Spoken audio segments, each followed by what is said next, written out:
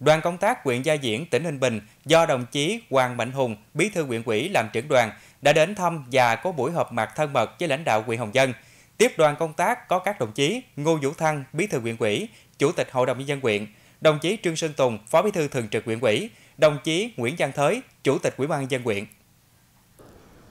Tại buổi họp mặt, lãnh đạo hai đơn vị kết nghĩa, huyện Gia Diễn và huyện Hồng Dân đã thông tin khái quát về tình hình, kết quả xây dựng đảng, hệ thống chính trị, phát triển kinh tế xã hội của hai huyện trong thời gian qua và phương hướng mục tiêu nhiệm vụ trong thời gian tới. Bí thư huyện ủy Gia Diễn cho biết, huyện được Ủy ban nhân dân tỉnh Ninh Bình công nhận huyện nông thôn mới vào năm 2020, sớm hơn 2 năm so với kế hoạch đề ra và phấn đấu đến cuối nhiệm kỳ 2020-2025, huyện Gia Diễn đạt chuẩn nông thôn mới nâng cao. Tốc độ tăng trưởng kinh tế giai đoạn 2016-2021 đạt 18,75%, thu nhập bình quân đạt gần 58 triệu đồng một người một năm, tỷ lệ hộ nghèo giảm còn 2,36%.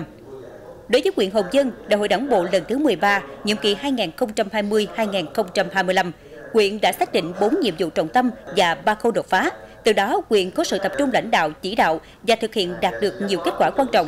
Hiện tốc độ tăng trưởng kinh tế bình quân hàng năm đạt trên 10%, thu nhập bình quân đạt trên 69 triệu đồng một người một năm, tổng vốn đầu tư toàn xã hội đạt trên 3.245 tỷ đồng, cơ cấu kinh tế chuyển dịch đúng hướng, theo hướng tăng dần tỷ trọng công nghiệp, thương mại và dịch vụ, trong đó sản xuất nông nghiệp thủy sản tiếp tục giữ vai trò là trụ đỡ của nền kinh tế.